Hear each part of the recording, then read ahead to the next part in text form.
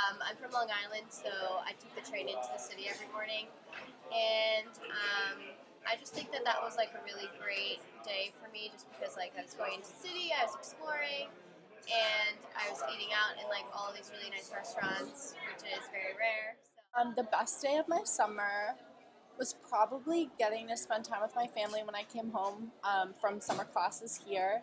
Um, and we all spent time together and went to dinner.